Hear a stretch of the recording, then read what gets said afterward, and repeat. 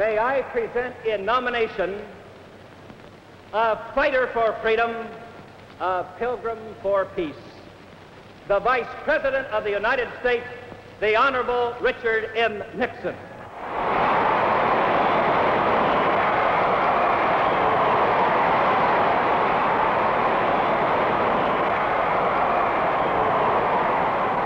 A hundred years ago,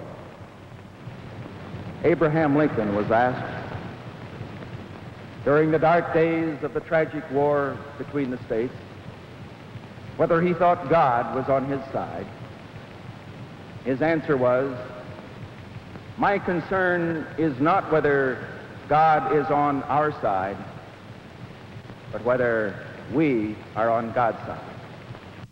And my fellow Americans, may that ever be our prayer for our country.